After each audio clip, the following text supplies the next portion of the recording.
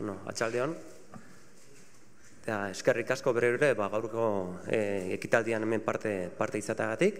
Eta ni lehenik eta behin eskerrak Santelmori ba, gaurko e, itzaldiaren bueno, e, aurkezpena nire gain usteatik. E, ni Jon Irurzu naiz, Elkano Fundaziokoa, eta nire dagogit gaur Nelson Aguilera aurkeztea. Eh, podría presentarlo de muchas maneras a Nelson, ¿eh? hablar de su currículum y demás. Él es antropólogo y él y yo nos conocimos hará aproximadamente un año, año y pico, en el mar, en un barco que se llama Santa Eulalia, en Barcelona. Y ahí, pues bueno, eh, al hilo de la circunnavegación y demás, tuvimos ocasión de conocernos, de charlar un rato y nos ha traído pues, a, diferentes colaboraciones y esta es una muestra más de, una de ellas. Eh, creemos que es importante conocer otras perspectivas de cómo ven la circunnavegación en otros puntos eh, más, más, lejanos que el nuestro. Eh, siempre decimos que nuestra perspectiva individual siempre es limitada y para enriquecerla pues, es importante eh, pues, bueno, conocer otras visiones de otros lugares, otros países y demás. Y es un poco lo que pretendemos hacer hoy con Nelson Aguilera, conocer un poco lo que para ellos supuso la circunnavegación, qué, qué conmemoran, si es que conmemoran algo y demás. Y de todo ello nos hablará Nelson desde su perspectiva de antropólogo. Eh, yo no me quiero extender mucho. Lo que sí voy a hacer, antes de que, termine la charla, es recordaros que la, próxima charla será a manos de Maite Chenique, de la Universidad de Valencia, con el, encuentro de las lenguas y la primera circunnavegación, que tendrá lugar el próximo martes 3 de marzo.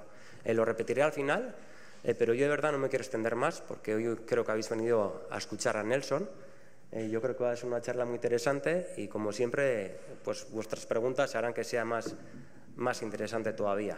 Eh? Yo beste gabe, hasi ere emango dugu txalari, eta, eta geroko galderak ba, ba, bakizute gorde eta, eta apuntatuta utzi bazpare. Hapasa kunta semute. Hainu hapis shapakuta san usipi. Hola, muy buenas tardes. Estoy muy contento de hablarles hoy día desde aquí. Eso es lo que he dicho en lengua yagán, lengua de la cual queda solo un hablante. Se llama Cristina Calderón y vive en Puerto Williams. Es una de las situaciones dramáticas que hemos tenido que vivir en Patagonia, eh, producto de muchos eventos históricos. parto declarando principios. Eh, más que una charla, me gustaría que esto sea una conversación. Así como mis hijas y mi esposa me dicen que no me toleran hablando más de 20 minutos, yo tampoco lo hago, así es que no espero de ese sacrificio de ustedes. La segunda cosa, bueno, como lo, ha dicho John, es que efectivamente el diálogo y la interacción nutren eh, este intercambio de ideas. Y básicamente lo que quiero hacer es compartir con ustedes algunos aprendizajes que he obtenido durante estos um, últimos dos años en que estaba abocado a investigar sobre canoas. Ustedes se preguntarán, ¿por qué las canoas? por varias razones, y una de ellas es porque una de las cosas que menos se sabe en arqueología en el mundo, no solamente en Patagonia, en el mundo, tiene que ver con astilleros, y particularmente con astilleros prehistóricos. Y esa fue mi entrada a, este, a, esta materia, que ha resultado tremendamente interesante porque el ejercicio me ha llevado a reandar la historia y a partir de ese proceso reaprender o desaprender en realidad varias cosas que se han dicho y se han perpetuado como mito. Así que dicho eso, los invito a esta navegación que ha sido bautizada como Yerke Tawon, que en lengua cahuéscar significa, ah, se puede interpretar, no se traduce, se interpreta como el movimiento de las canoas por efecto de las mareas. Lo que tengo que decir en millones de frases en castellano, en Cahuéscar tiene un nombre. Yerke Tawon. Y claro, tiene que ver con lo que les he dicho de la aproximación a, la investigación de canoas. Esto surge de un proyecto de la Universidad Autónoma y de la Universidad de Magallanes en orden a investigar algunos hallazgos referidos, como les contaba, a astilleros. Sabíamos, a propósito de esta mención, de que el día 12 de abril de 1830, el, cirujano, el segundo cirujano de la expedición de Parker King y Fitzroy, específicamente Fitzroy, el cirujano Bino, Benjamin Bino, describe un lugar que, junta todas las características de un, astillero. Dice claramente que habían dos canoas en construcción, dos canoas destruidas, y algunos otros eh, elementos muy significativos como por ejemplo dos grandes tiendas que corresponden fundamentalmente a lo que en Cahuéscar son las eh, chozas ceremoniales. Así es que a partir de ese dato fuimos a buscar el lugar. Pero había que saber de canoas. Y en ese contexto, una de las cosas que se ha repetido hasta el cansancio en Patagonia Austral es que los pueblos indígenas eran tremendamente primitivos, eran tremendamente salvajes y que los caracterizaba la simpleza. Y de la navegación, en realidad no sabíamos nada, absolutamente nada. Es más, se, da una curiosidad, aquí me voy, a, me voy a saltar esto en realidad porque me parece más importante lo que tengo que decirles ahora. Y es que si ustedes revisan cualquier eh, descripción etnográfica se van a o arqueológica, se van a dar cuenta de que cuando hablamos de pueblos de la canoa, la primera cosa que se dice, no, no, son pueblos nómades, migraban, se movían con mucha fluidez, pero a continuación se les describe como si fueran pueblos sedentarios.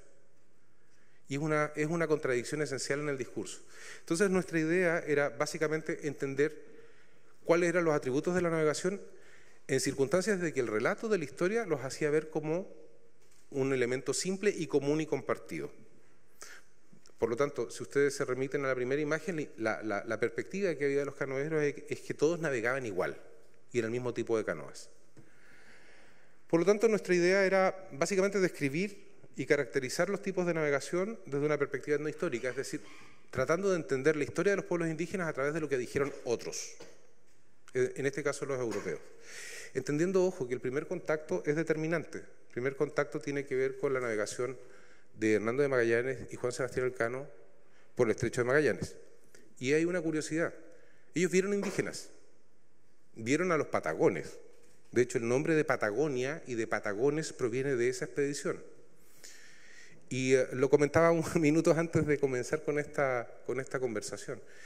Eh, el mito de los Patagones viene, o el nombre de Patagones viene porque tenían los pies grandes, o al menos eso fue lo que interpretó Pigafetta en su crónica. Eh, en el puerto de San Julián, que queda actualmente en la República Argentina, eh, en, los meses de invierno, en la expedición de Magallanes vio gente indígena a la distancia, pero nos vieron de cerca. Entonces, cuando fueron a acercarse para tratar de establecer contacto, ya no estaban las personas, pero sobre la nieve vieron rastros de pisadas muy grandes. Entonces la ecuación fue simple. Pies grandes, gran estatura. Y a partir de eso se instala este mito de los gigantes de la Patagonia que duró 300 años. 300 años como, como parte de las creencias. Bueno, luego se, dirá que eran, además eran antropófagos, que tenían atributos casi ciclópeos, tenían, en una mirada muy medieval, por cierto. Hay que entender de que la mirada de los primeros navegantes que transitaron por aguas del estrecho de Magallanes, a contar de 1520, estaban influidos fuertemente por una carga medieval. Entonces, dentro de estos objetivos, probablemente el más importante desde la, desde la óptica de la investigación, cuando partimos fue este, era proponer elementos que nos llevaran a, a concluir dónde habían astilleros. Porque muchos sitios arqueológicos probablemente fueron excavados sin darse cuenta que estaban excavando astilleros. Y hay varios ejemplos clásicos de los sitios arqueológicos de Patagonia Austral que tienen que ver con eh, herramientas propias para la fabricación de canoas. Este fue el inicio, al menos así, comenzó esta, historia o este, este derrotero. Patagonia, si me permiten, en realidad es una imagen bastante dúctil. Patagonia no es un territorio, es una idea. Probablemente pasa lo mismo con otros conceptos de territorio. Y esto nos, remite a, una discusión probablemente más profunda respecto a qué es lo que entendemos como territorio. Y digo esto porque Patagonia no tiene límites definidos. O sea, algunos autores sitúan el límite norte acá, otros lo sitúan aquí, pero básicamente el punto inicial donde todo esto comenzó fue el puerto de San Julián, que se ubica más o menos por acá, en plena estepa patagónica. Las expediciones usualmente seguían el derrotero de la costa atlántica para luego entrar al estrecho de Magallanes y salir por la boca occidental. Lo que decirlo resulta muy fácil en la práctica era tremendamente complejo en dos puntos. En este, que corresponde a la primera y segunda angostura del estrecho de Magallanes, y en este, que es la boca occidental. ¿Y por qué? Porque se produce un, factor único. Viento a favor, ideal para, para el tránsito a vela, corriente en contra. Y eso generó cientos de naufragios. cientos de naufragios, hasta la incorporación de la navegación a vapor, pero inicialmente la navegación a vela fueron cientos los naufragios que se contabilizan en todo este tránsito. Son miles de islas las que componen el archipiélago patagónico occidental y austral, y es el escenario sobre el cual eh, gira toda esta historia. Bueno, aquí podemos apreciar las Islas Malvinas. Patagonia no siempre fue igual. De hecho, es un territorio geológica y ambientalmente muy variable y ha tenido cambios significativos durante los últimos 13.000 años de una manera significativa. Hace 13.000 años teníamos tres grandes concentraciones de hielo que hacen o explican de una manera bastante práctica por qué es difícil la, colonización oceánica. El hielo impedía que los cazadores tempranos que llegaron a estas latitudes pudieran desplazarse hacia el mar cosa que empieza a cambiar aproximadamente hace 7.500 años, en que el hielo comienza a retirarse, el proceso de deglaciación, y subsecuentemente ocurre otro hecho significativo, que es la aparición de esto, son las formaciones de bosque de Fagácea. ¿Por qué es importante el bosque? Porque del bosque se hacen canoas. O sea, el primer paso fue probablemente la colonización del litoral. Estamos hablando de 7.000 a 7.500 años. El segundo paso, ya más complejo, fue la incorporación de la navegación. Y eso ocurre aproximadamente hace 6.500 años. En tres puntos conocidos, dos en Patagonia Austral, uno en este sector, que es Punta Santa Ana, y otro en este sector, que es eh, el canal Beagle, específicamente en el área del túnel y Ushuaia. ¿Por qué ahí? Pues son zonas de transición, son zonas de transición ecológica. Por lo tanto, hay confluencia de recursos que es muy propio de, los grandes procesos de adaptación humano. Además, en la zona oceánica hay otro factor que explica un elemento de adaptación importante. La verdad es que arqueológica y antropológicamente no se sabe muy bien por qué los seres humanos finalmente terminan ocupando el litoral. Pero hay algo que es común en todos los casos, y es que los recursos están homogéneamente distribuidos y los ciclos, los ciclos naturales son predictibles.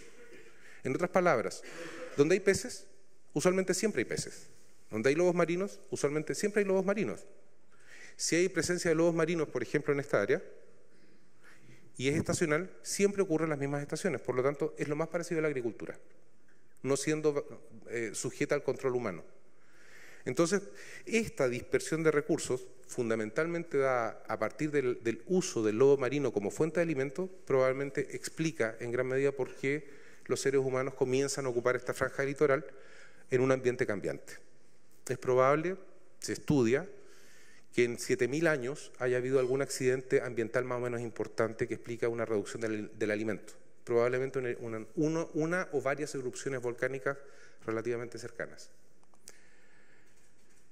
A 1520, cuando la expedición magallánica transita por por aguas del, estrecho que hoy día lleva el nombre del capitán de la expedición, Patagonia se dividía básicamente en, estos etnoterritorios, por darle un nombre. En realidad este, este mapa representa la versión más ortodoxa de la antropología patagónica. Me refiero a que la idea de, la, de, la, territorialidad indígena está subordinada a un mapa. Y nos olvidamos a veces de que estos pueblos eran tremendamente nómades, se movían con mucha frecuencia y mucha elasticidad y la idea de las fronteras eran muy dúctiles, eran, virtualmente no existían. Pero en términos de distribución, en el, sector continental sur se, eh, ubicaba el pueblo Aoniken, un pueblo cazador terrestre. En Isla Tierra del Fuego se ubicaban dos pueblos, el pueblo Selknam y en esta punta, que es la península de Mitre, se ubicaba el pueblo Hauch. Y en, los canales patagónicos eh, de Patagonia Occidental y Austral se ubicaban tres pueblos canoeros. El pueblo Chono por el norte, el pueblo Cahuéscar en toda esta costa tremendamente disruptiva, producto de los archipiélagos, y en el archipiélago austral el pueblo Yagán. Una breve contextualización, el pueblo Aoniken es el famoso pueblo patagón. El pueblo, los patagones en realidad eran Aoniken. Ese era el etnónimo, la forma en que ellos tenían para llamarse a sí mismos. Gigantes no eran, pero sí eran muy altos. Las fotografías y las excavaciones arqueológicas dan cuenta de un promedio de estatura masculino de sobre un metro ochenta. Recordemos de que la talla humana particularmente en, en ciertas zonas de Europa, era bastante más baja respecto de hoy. Podríamos calcular en grueso del orden de 10 a 15 centímetros. Por lo tanto, la talla promedio de los navegantes de la época tiene que haber oscilado entre el metro 60 a un metro 65. Frente a un indígena de promedio superior a un metro 80, naturalmente la percepción es de gigantes. Pero además en ciertos sectores de la costa, y también lo comentaba antes de comenzar, en el estrecho de Magallanes se produce un efecto óptico bien curioso, y es que desde el mar hacia la orilla todo se ve más alto. En particular en el sector de San Gregorio, que es donde estaban los campamentos más importantes de este pueblo. Su última Ah, incorporan el caballo. El dato cierto es que aproximadamente es el año 1699. Esa es la primera vez que se les vio montados a caballo. Y eso significa que sus circuitos se vuelven más cortos, porque son capaces de recorrerlos en menor tiempo.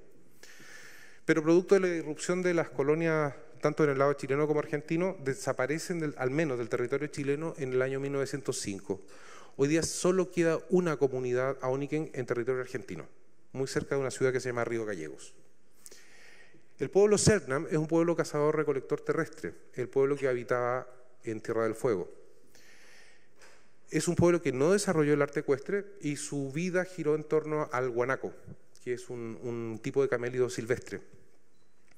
Este pueblo ha sido tremendamente descrito y gran parte de la iconografía de Patagonia se debe a ellos. La tragedia, valga decir, es que entre 1881, que fue el primer intento de establecer la ganadería en Patagonia Austral, ya durante la ocupación colonial chilena, y en particular desde 1890 hasta 1930 los barrimos. Literalmente los barrimos. No solamente con persecución armada de estas poblaciones, sino que luego con prácticas etnocidas como su reclusión en misiones eh, salesianas. La conclusión fue que en 30 años no quedó ninguno este es uno de los casos más tremendos de etnocidio conocido en América del Sur. El pueblo Hauch, la verdad es que sabemos muy poco acerca de ellos. Sabemos que el momento del contacto con Europa probablemente estaban siendo absorbidos por el pueblo Selknam, por los de Tierra del Fuego. También cazador terrestre. Los últimos antecedentes de población de, este origen, de origen maniquenc, datan de 1902 aproximadamente. De ahí se les pierde la huella irremediablemente. Y ahora empezamos con lo que tiene que ver directamente con los pueblos canoeros o los pueblos del mar. El pueblo chono, que habitaba en el territorio del extremo norte de Patagonia, al sur de Chiloé, en el archipiélago Huaytecas, se sabe muy poco de ellos. Eh, se sabe, por ejemplo, que transitaban en canoas de madera hechas de tabla, tabla cocida, como se aprecia en esta imagen. Esta imagen es del año 1902 y corresponde a un lugar que es el canal, canal Messier, en su salida norte. Y es, es alucinante porque Ah, se sabe, por ejemplo, que domesticaban el perro no solamente como auxiliar de caza, sino que eh, usaban el pelo del perro para producir tejidos. Ah, también, probablemente, producto del contacto con población colonial, eh, domesticaron algún tipo de oveja y cabra, pero eso en el contacto tardío. La historiografía tradicional los declaró extintos en el siglo XVIII. Ese concepto de extinción también me perturba un poco. Podemos ahondar en él un poco más adelante. El siguiente pueblo en orden cardinal, es decir, el que le sigue hacia el sur, es el pueblo Cahuéscar. Cahuéscar significa gente de piel dura. En realidad ah, es, como la traducción literal. Cahuéscar, Cahués da la idea de dureza y Har da la idea de un ser, de un ser eh, que existe. En otras palabras, un ser tangible, a diferencia de los seres que son intangibles, como por ejemplo las fuerzas de la naturaleza tienen un carácter intangible, pero son personificadas. Por eso el nombre. De ahí viene eso de Cahuéscar. Son un pueblo cazador-recolector marino, eh, ocupó toda la franja sur de los canales patagónicos occidentales y actualmente sobreviven cerca de 370 personas. Pero de esas 370, solamente 12 son étnicamente, también me molesta ese concepto, pero para que se entienda más claramente, étnicamente puros. Son hijos de padre y madre Cahuéscar y son hablantes del idioma. Esas 12 personas viven en una pequeña localidad que se llama Puerto Edén. Afortunadamente nos quedan todavía algunos hablantes de ese idioma. Esta foto es una maravilla porque es de las pocas que se conocen acerca de sus ceremonias. Esta corresponde a la ceremonia del Chinchigagua, que es la ceremonia de iniciación masculina. Quiero hacer notar, la máscara de tronco Y la imagen fálica tiene que ver con la afirmación del poder de los hombres sobre las mujeres, que es propio de, las culturas cazadoras recolectoras del extremo sur de América. Se repite esto en la historia varias veces. Insisto, de estas fotos etnográficas respecto de la ceremonia del Chinchigagua, creo que son ocho las que existen, o al menos las que se conocen. El último pueblo hacia el sur, el pueblo más austral del mundo, es el pueblo Yagán. También es un, pueblo canoero. Y bueno, después de un tránsito histórico que los eh, llevó a, adaptarse a una de, las zonas oceánicas más complejas, después del contacto con Europa y específicamente a contar de 1864, con el establecimiento de misiones anglicanas en el territorio, rápidamente comienza un, proceso de abandono de su cultura tradicional. Lo más brutal en este caso fue tanto la aparición de loberos, tripulaciones de cazadores de foca, europeos y fundamentalmente norteamericanos, ingleses y norteamericanos en propiedad, que no solamente diezmaron sus fuentes de alimentos, sino también establecieron relaciones violentas con estas poblaciones. Eh, esclavizaban sexualmente a las mujeres, asesinaban a familias enteras por las pieles.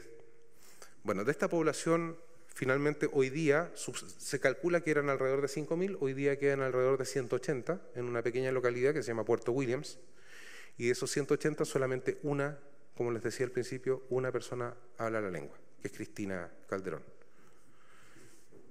Esta foto es una pequeña maravilla, no puedo evitar saltar omitir el comentario porque esta persona probablemente es una de las más fotografiadas de la historia indígena de Patagonia Austral. Se llama Atlinata. Atlinata en Intiencuta, en Yagán, significa bromista. Parece que le gustaba mucho ir de bromas eh, entre sus pares. Tiene una colección muy amplia de fotografías, corresponde a la misión francesa al Cabo de Hornos 1882 pero aparte de esta fotografía, nótese al fondo, en segundo plano, una canoa de corteza. Es una de las pocas fotografías donde la, canoa no está ambientada, está en su condición natural amarrada en sargazos. En síntesis, estamos viendo a los otros navegantes, a estos navegantes eh, con los cuales Europa se topa a partir de, de la navegación magallánica en 1520 y que son un absoluto misterio. Y un misterio en el sentido de que, imagínense personas transitando en canoas muy frágiles, desnudas, en un frío inclemente, con nieve, eh, y sobre quienes se establece además una relación de asimetría por dos razones. Primero, porque el discurso natural dominante de Europa estableció que aquellas poblaciones eran barbáricas, por lo tanto inferiores. Pero además era asimétrica por una cuestión práctica. La observación se hace desde arriba hacia abajo. Las cubiertas de los barcos están más altas que las canoas, porque las canoas navegan a ras del mar. Eso explica, por ejemplo, dos cosas que son anécdotas maravillosas. Me encontré con este, dato hace muy poco. En Cahuéscar, para referirse a los europeos, el concepto que se emplea es pelchehue.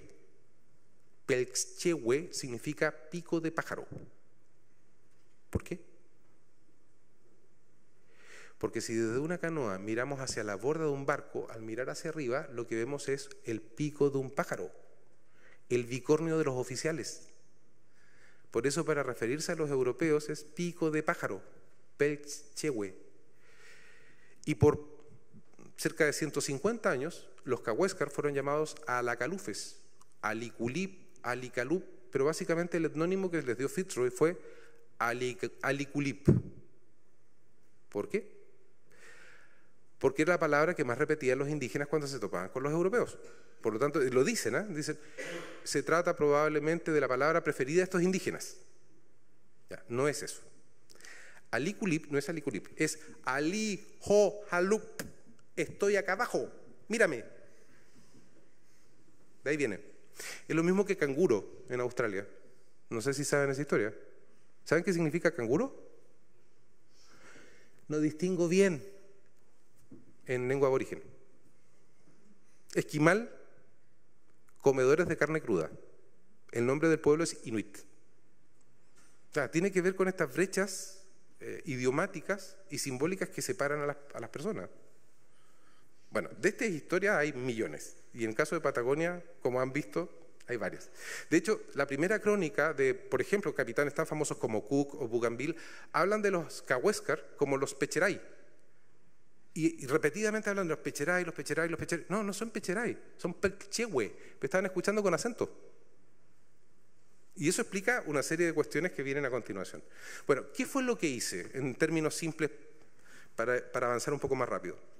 Tomé todas las crónicas respecto a bitácoras de navegación, diarios de viaje, porque en definitiva, a ver, entender la navegación, hay, básicamente hay tres formas para hacerlo. me refiero a la navegación indígena fueguina antes de, al momento del contacto. Una es replicar las canoas para poder hacer una suerte de ingeniería inversa y ver cómo navegaban. ¿Sí? Esa es una alternativa. La otra es recorrer los museos del mundo y registrar las 12 o 13 canoas que existen. En algunos casos las canoas fueron llevadas incluso con sus pasajeros. Una tragedia. Pero existen. Hoy día se conservan alrededor de 13 a 15 canoas en distintos lugares del mundo. Canoas originales y en algunos casos réplicas. Y la tercera forma, que fue la que yo elegí, fue ver qué fue lo que dijeron los navegantes europeos respecto de aquella gente que vieron navegando. Bueno, ese ejercicio que, suena tan simple no lo había hecho nadie y resulta que nos ha conducido a algunas sorpresas bastante interesantes. 160, 164 relatos de navegación revisados que corresponden a 120 navegaciones en un rango de tiempo que va de 1520 a, 1500, a 1953. ¿Por qué esa época? Porque la última vez, ese año, es el último año en que los ven realmente en canoa. De ahí en más los ven en bote, o en chalupas balleneras, pero hasta 1953 la canoa todavía existía. Bueno, vimos, eh, revisamos en este proceso bitácoras, diarios de viaje, reportes de misioneros, eh, todo lo que se puedan imaginar, incluso algunas fotografías. Pero además, para poder identificar algunos eh, astilleros, entrevistamos a personas indígenas que navegaron en canoa y que todavía sobreviven. El caso de Gabriela Paterito, que probablemente es la última canoera y que todavía tiene el recuerdo en la memoria de lo que significaba navegar en canoas de tronco, a remo, y vivir esa vida. Fue realmente alucinante, fue una experiencia muy enriquecedora en términos de aprendizaje. Dividimos toda la zona en tres, porque nos dimos cuenta que en la zona intermedia, y ya lo van a ver en, los mapas, la cosa es tremendamente confusa, en términos de que nadie sabe quién está ni, por qué.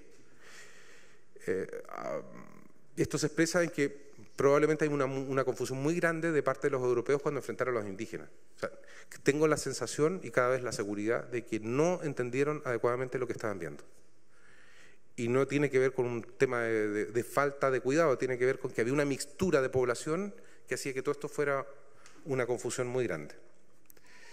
Bueno, todo esto se pasó a una base de datos digital y de toda esta revisión definimos que hubo un total de 1.182 avistamientos, es decir, 1.182 eventos en que los europeos dicen haber visto a los indígenas. De esos 1.182 avistamientos, 500 corresponden a canoa. Y aquí empezaron las sorpresas. Resulta de que no navegaban lo mismo, ni la navegación era común. Navegaban canoas de corteza, navegaban canoas de tabla, navegaban canoas de cuero, que fue un tremendo hallazgo, y navegaban finalmente canoas monóxilas, es decir, canoas de un tronco excavado lejos de ser una cosa homogénea, ya tenemos una situación de diversidad. Bueno, además, eh, identificamos otras cosas muy interesantes, como por ejemplo, perdón, me salté esto, en muchos casos los navegantes dieron medidas. Ah, las canoas medían tanto, las canoas medían como rango máximo, como rango mínimo, y a partir de eso generamos una base de datos de medidas. Toda esa información se plasmó en un mapa, es decir, todos estos puntos representan las canoas y los campamentos que se advirtieron. Los puntos rojos representan las canoas que no se identifican como materia prima. Ya no sabemos si son de corteza o si son de cuero. Simplemente son avistamientos en el mar. Pero en verde están las canoas de corteza, en rojo las de cuero, en azul las de tronco y en amarillo las de tablas.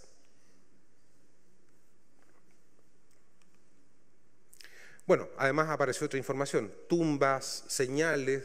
Por ejemplo, aquí se nos cae un mito. El mito levantado respecto de que todos los contactos entre la población indígena y europea eran hostiles. No es así. De hecho, de todos los contactos que hubo, la mayoría en la mayoría de los casos, hasta el año 1800, eran contactos amistosos. O sea, en la mayor parte de los casos eran los indígenas quienes se acercaban a decir, hey, queremos intercambiar, queremos trueque. Y en la medida en que el tiempo avanza, el trueque se vuelve más específico. Los indígenas piden específicamente, queremos galleta, queremos tabaco, ¿sí? A cambio de fundamentalmente carne y pieles. Esos eran los objetos de intercambio más habituales. ¿Hay situaciones hostiles? Sí, pero la, violencia interétnica comienza a ocurrir a contar del 1800 y se vuelve crítica a contar de 1855. las observaciones no son todas homogéneas, no todos los años se ve la misma cantidad de canoas. De hecho, la mayor cantidad de observaciones se concentra en la segunda mitad del siglo XIX. Y la razón es muy clara. Primero, porque aumenta la cantidad de misiones hidrográficas en el área, por lo tanto hay más exploradores, hay más ojos mirando, pero además coincide con el periodo de instalación de las misiones. Entonces los misioneros también son un factor de observación importante. Empiezan a ver cosas que nadie antes había visto. Como por ejemplo, y lo comentábamos en la visita al museo con, sí, con Agurzane, eh, por ejemplo, los misioneros advierten por primera vez en detalle el uso de la, de la ballena, de la grasa de ballena. Resulta de que sabemos que las familias vivían muy, muy, muy eh, separadas unas de otras. Pero cuando alguien encontraba una ballena, inmediatamente hacía señales de humo. Esa era la señal por WhatsApp de la época para decir, hey, vengan a comer. Y las descripciones son alucinantes porque dicen, bueno, llegan los indios a la orilla, toman un cuchillo de piedra o de, o de concha de mejillón, cortan un gran trozo de grasa de forma cuadrada, le hacen un hoyo en medio y se lo ponen en la cabeza, como si fuera un poncho, y se van caminando. Claro, para luego comerse la grasa en la orilla del mar. Entonces, todas esas observaciones más finas empiezan a ocurrir a contar de esta época, entre 1850 y 1900. Esta es la distribución de las canoas de, corteza. Como se verá, son dominantes en el área sur, pero también aparecen muy claramente dibujadas en el estrecho de Magallanes. ¿Por qué terminan en este punto? Porque ahí se termina el bosque y comienza la estepa. La explicación es sumamente lógica, tiene que ver con disponibilidad de materia prima. ¿Y qué es una pasada? si me permiten el término, piensen ustedes, una canoa hecha de corteza, ligada con fibras vegetales o barba de ballena, sin estructura interna, porque no tenía estructura interna, no tenía cuadernas, no tenía quilla, simplemente estaba amarrada, de tal manera que tenía una suerte de, costilla falsa, porque era una costilla que iba a presión en las bordas, en este punto, y tenía una capacidad de carga por lo menos de 600 kilos. Es un ovni. Porque además con eso navegaban en aguas abiertas. Es alucinante. Piensen ustedes, cinco personas a bordo, más el equipo de pesca, más los perros, más los cueros, 600 kilos. Más el peso de la misma canoa, que se calcula debe haber estado entre los 150 y, y 120 kilos más o menos. Realmente es alucinante. Y bueno, y aquí hay fotos de una... Tengo la impresión de que esta es una reproducción fidedigna, mide 2 metros 79, está en el Museo Mayorino Borgatelo de Punta Arenas. Pero esta foto es una maravilla. Hay, dos cosas a destacar aquí. Primero, que era tremendamente cuidada. Probablemente haya sido el objeto más cuidado de los indígenas, al menos de los llegan. Si se fijan, aquí hay una cama de sargazo. El sargazo tiene la textura de una gelatina, algas, para que no roce con las piedras, porque si la corteza se golpea, se quiebra. Pero la segunda cosa que es alucinante, se ve aquí, pero aquí se ve mucho más claramente, no sé si la gente del fondo lo ve tan claramente, la puntada, y eso está en todas las canoas de corteza, es alternada. Es una corta, una larga, una corta, una larga, una corta, una larga. Porque si fuera homogénea, sería el prepicado. La corteza se quiebra. Es alucinante. Son, aquí tenemos, calculo, unos 6.000 años de aprendizaje de ensayo y error, resumidos en esta, en esta imagen. Luego, el gran hallazgo, y fue la gran sorpresa, es que nadie tenía antecedentes de que había navegación de canoas de tablas en el estrecho de Magallanes. Porque las canoas de tablas son de la zona del norte de Patagonia. De muy, estoy hablando de 1.200 a 1.300 kilómetros al norte de Patagonia, de Patagonia, de este punto. Y resulta que aparecen las canoas de tabla. Y eso es un enigma que nos ha tenido con quebradero de cabeza ya unos buenos meses, pero creemos haber encontrado la respuesta. Las canoas de tabla estaban hechas de una, perdón, de entre tres, cinco y siete tablas, con una tabla base, dos tablas laterales o más, y también estaban amarradas, estaban cosidas con amarres probablemente vegetales. Estas canoas también son alucinantes en el sentido de que tenían una capacidad de carga altísima. Hay cronistas de fines del siglo XVII y XVIII que dan cuenta de que tenía una capacidad de transporte de hasta una tonelada y media. Es alucinante. Otro ovni. 23 personas a bordo. De hecho los misioneros jesuitas cuando se internaron hacia el sur lo hacían, preferían estas canoas a las naves españolas.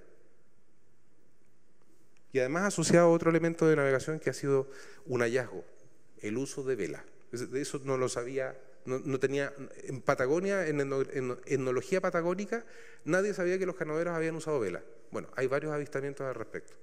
Estas son fotos reales.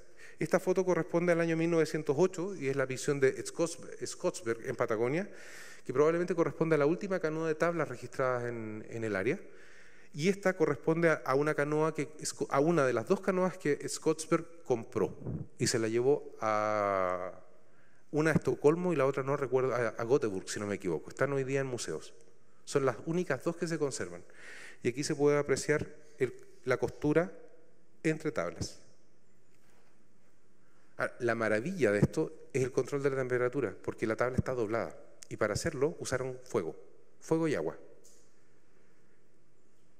Y es realmente una, una, cosa de ingeniería, de, ingeniería náutica indígena que no hemos podido describir en detalle porque no hemos replicado el proceso. En algún momento sería importante hacer algo como eso. La gran curiosidad de esta investigación probablemente es esta. Canoas de cuero. Hay cuatro menciones en dos avistamientos que corresponden a un área común. Canoas de cuero que no tenemos mayor información porque son solamente dos, dos, eh, dos eventos pero sí sabemos por quienes las describieron, un capitán de, apellido Bassi y un eh, capitán de la Marina de Brasil, de la corbeta Parnaíba, en 1882, que dice, no, eran como una cesta, tenían una estructura interna y estaban forradas en cuero. Y no solamente B1, B2, y las B navegación. Entonces no era una ficción, no era un juguete, eran canoas funcionales. Finalmente, esta es la, probablemente la imagen más, más, más arquetipada de la navegación indígena de Patagonia Austral, las canoas monóxilas o de tronco excavado. Son canoas que también implican un manejo de temperatura, también es fuego y agua, eh, sobre todo para no solamente excavar el tronco, sino para abrir la borda. Y ocurre una vez que se incorporan los instrumentos metálicos a, a la tecnología indígena. Estoy hablando principalmente de hacha y azuela, y eso empieza a contar de 1870 aproximadamente. Y tenía esta forma. Ah, no sé si se alcanza a ver bien del fondo, pero una de las cosas que hicimos fue recuperar las, etnocategorías en, lengua cahuéscar. Tenemos el registro completo de cada uno de los, elementos de la canoa en, ese idioma. Y se confirmó lo que nosotros creíamos en el sentido de que hay elementos que tienen más nombres que en castellano. Esta es una imagen de una canoa que llegó en navegación literalmente, llegó en navegación a la ciudad de Punta Arenas, la compraron y la pusieron en, un museo. Y esta es una que está en fabricación, la persona que aparece ahí eh, es eh, em, Francisco Sotomayor Panchote, eh, y justamente este sector es Puerto Edén, es una de las bahías de Puerto Edén. Hago una aclaración. Eh, Respetando las creencias del mundo cahuéscar, me refería a Francisco como Yexoloc. A las personas muertas no se les puede nombrar, a menos que se explicite que están fallecidas. Yexoloc, ah, para eso se usa el prefijo Yexoloc, que significa algo así como el finado Francisco. En el mundo de las creencias, si una persona fallecida es nombrada, es porque se le está llamando al otro mundo. Y si viene, viene enojado es un ayama, que en Cahuéscar significa tabú. No se puede hacer eso. Por eso, en respeto al mundo de la cosmovisión, usa el concepto de yexólogo. En esto voy a ir muy rápido porque es la mejor manera de entender estos mapas. Y si me permite, me voy a poner de pie porque soy medio hiperactivo y ya llevo mucho rato sentado. ¿Me escuchan? ¿Se escucha? ¿Se, ¿Se escucha bien? Perfecto. Permiso. Dividimos todos los avistamientos en 50 años. ¿Sí? Rangos iguales, 50 años, todas las canoas en un mapa. ¿De acuerdo? Mire lo que pasa. De 1520 a 1579, un punto rojo, otro punto rojo, más una canoa de corteza. En otras palabras, se ven, hay contacto, son pocas, pero están. ¿Sí? Segundo periodo, lo mismo. Ocupación en el estrecho de Magallanes, la mayoría de canoas todas de corteza. Lo mismo acá, dos avistamientos en la costa central del estrecho de Magallanes y lo mismo aquí donde los contactos eran más abundantes y frecuentes, porque este en particular es un muy buen puerto, es Puerto Galante. Pero miren lo que pasa aquí. Se nos llenó de canoas amarillas. Eureka. Las canoas amarillas son las de tablas. Lo que estamos viendo es migración. Nunca habíamos tenido noción de que teníamos migración de comunidades canoeras del norte hacia el sur. Y aquí tenemos la primera evidencia. Ahora lo que tenemos que buscar es las causas que expliquen esta migración. Pero claramente tenemos migración de comunidades chono que están entrando a los canales. Y eso fue un aprendizaje de este proceso. Luego, hay menos avistamientos porque hay menos navegaciones. En este periodo entre 1770 y 1820 hay menos observadores, por lo tanto hay menos canoas. Mire lo que pasa acá. Muchas canoas, más canoas, canoas de tablas, canoas de corteza, muchos avistamientos en el área sur, las misiones. Aquí un puré de canoa, porque hay de todo. Está, lo que está diciendo claramente de que hay varios grupos canoeros que están en contacto, probablemente también con población terrestre. Porque hay que decir que los canoeros de esta zona tenían el monopolio de dos productos que eran sumamente importantes para el resto, la obsidiana verde, que es un cristal volcánico, una belleza que sirve para hacer puntas y cuchillos, pero además tenían el monopolio de la pirita, que es un mineral que sirve para hacer fuego. Hay solamente dos fuentes de pirita, una está identificada y está más o menos en este punto. Tanto la obsidiana como la pirita son de acceso exclusivo de los canoeros de esta área. Por lo tanto, tenían el control de ese comercio. Sea, guardando las proporciones, es una especie de fenicios, en pequeña escala. ¿Sí? Pero miren lo que pasa acá. Fíjense en este cuadro. Momentos finales del contacto, 1870-1920. ¡Pum! Se fueron las canoas. Estamos viendo claramente las consecuencias del etnocidio. La población se fue. Y se fue no porque se haya ido del lugar, es porque desaparecieron o están en vías de hacerlo. El gráfico resulta tremendamente notable en esos términos y hay que leerlo en esos términos la población se nucleó en este punto que es Puerto Edén y en ese punto que es Bahía Mejillones. Una imagen más que mil palabras, es brutal. Esto es parte de la anécdota, pero es interesante tenerlo en cuenta. Tenemos práctica de vela. Hay vela. Están usando aparejo para navegar. Y están usando aparejo a contar de 1765. Pero además están usando velas de cuero de lobo marino. O sea, no solamente están, innovando sobre lo que tienen, que es el cuero, luego empiezan a usar tela de vela de barco, gracias al contacto con los navegantes europeos.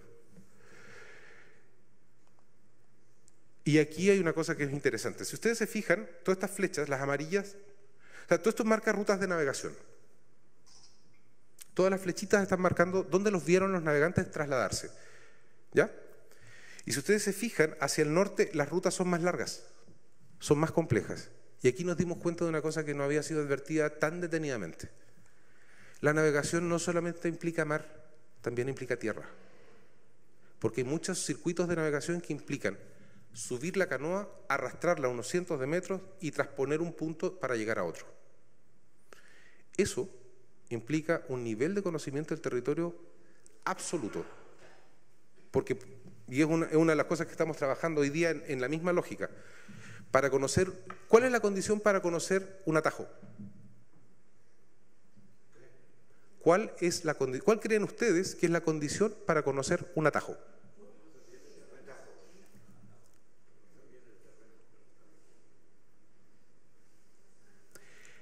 La respuesta es más compleja y más simple de lo que creen.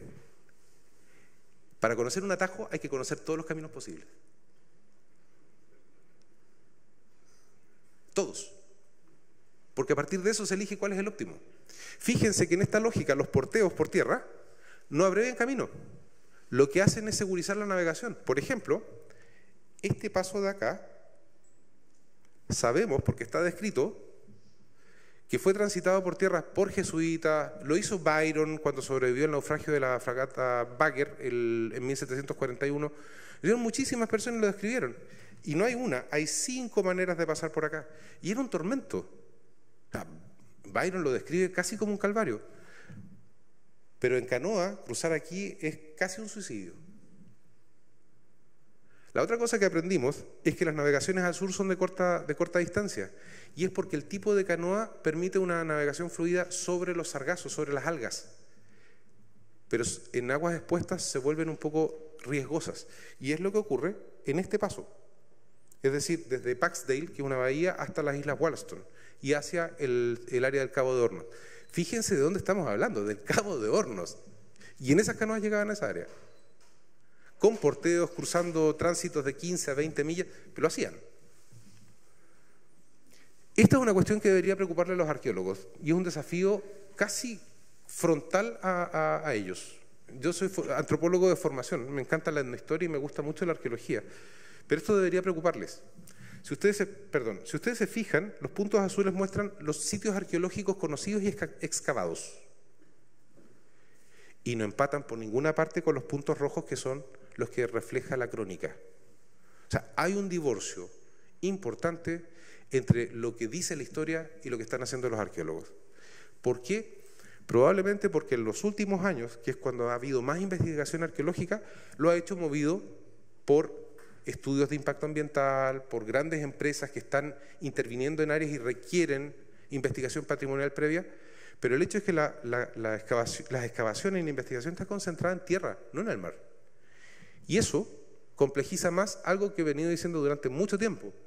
Este territorio es probablemente, sí, sin lugar a dudas, es el menos explorado del planeta. Si ustedes me apuran, que, tendría que decirles que es algo así como una suerte de Amazonía austral. Hay lugares que no han sido jamás visitados por hombre blanco. Jamás. Estamos hablando de miles y miles y miles de islas y cuyos reales conocedores son los sobrevivientes Cahuéscar. Y a partir de ello tenemos, a partir de ellos tenemos mucho que aprender, muchísimo que aprender. Pudimos determinar que había estacionalidad en el uso del territorio, en otras palabras, en el área norte, por ejemplo, en verano salían hacia el Océano Pacífico, en la, en la época de invierno se guardaban hacia adentro de los canales, en el área sur la tendencia es inversa, o sea, en el sentido cardinal me refiero. Eh, en verano salían hacia el, sur, en eh, invierno se, se guardaban hacia el norte, y en la zona media pasaba cualquier cosa. Pasaba cualquier cosa, porque había de todo. Las canoas son distintas en tamaño, las del norte son más largas que las del sur, y eso tiene que ver fundamentalmente con la materia prima. Esto es simplemente una, muestra modal respecto a dónde se distribuyen las canoas que queda más claro en este monito. Siempre se creyó, mito que se nos cayó ahora, siempre se creyó que las canoas monoxilas eran canoas que venían del norte. El análisis muestra que vienen del sur.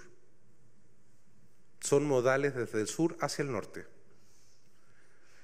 No sabíamos que habían canoas de tablas hasta esta investigación. Bueno, resulta que las tablas claramente son modales de norte a sur. La proyección es sumamente clara. Y respecto a las canoas de corteza, claramente es una canoa del sur. Esto no tiene mayor importancia, tiene que ver con longitudes. Esta es una cosa que me alucina. Si ustedes se fijan, cuanto más rojo es el punto, hay más canoas en un avistamiento. En otras palabras, cuanto más blanco es el punto, quiere decir de que la canoa que se vio fue una. Cuanto más rojo, eran más. Pueden ser 5, 2, 3, 4, 5, hasta 10 canoas. No es habitual encontrarse con muchas canoas reunidas. Esto nos muestra de que la navegación también tenía eventos, eh, eventos sociales o eventos de agrupación. ¿Sí? Siempre se creyó que la navegación o el uso de la canoa estaba referido a la familia nuclear, es decir, padre, madre e hijos. Esta investigación demuestra que en el sur navegaban al menos de tres canoas juntas y que en el caso particular de los eventos de varazones de ballena, los niveles de agregación crecían en, forma explosiva. Y una, una cosa que es súper interesante, bueno, a diferencia del norte en que la navegación siempre era una canoa, probablemente con más gente, pero era siempre una canoa, máximo dos. Y eso explica al menos dos cosas, o al menos eh, explica una y grafica una segunda. La primera es que en el norte, ustedes recordarán que yo los saludé en lengua yagán, ¿sí? ¿Qué les dije?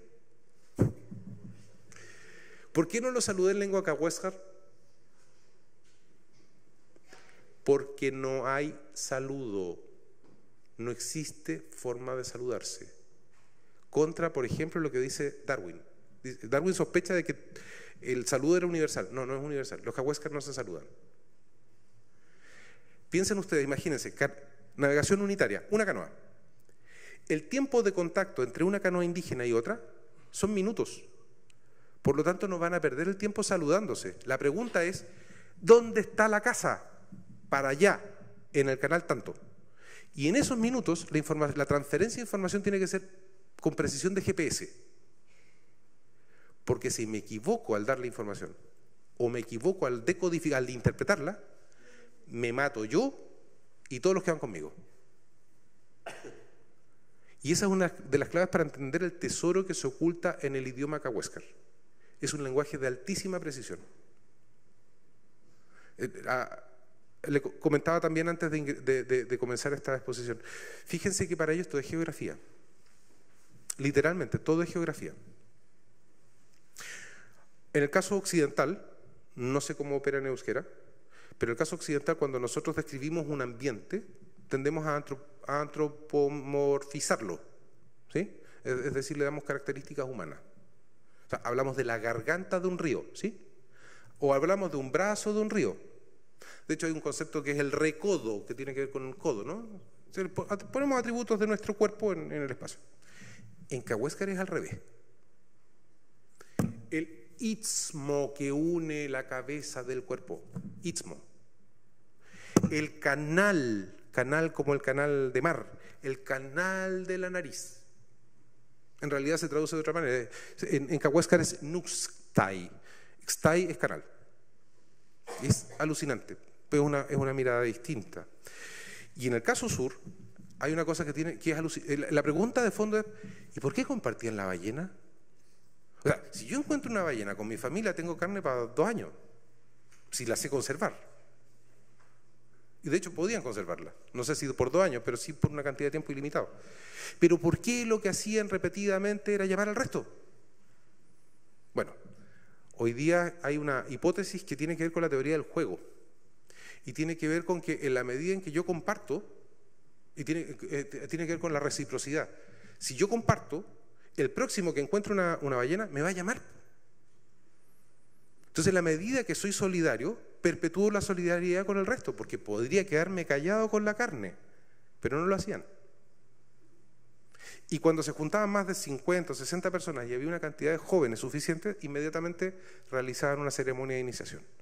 Entonces tenía que ver con toda una cosa simbólica, económica y que va mucho más allá de lo, de lo que creíamos. Bueno, lo obvio, hasta ahora los, nueve astilleros que hemos identificado están asociados a grandes bosques de fagacia, específicamente el coihue, que es el, el Notophagus betuloides.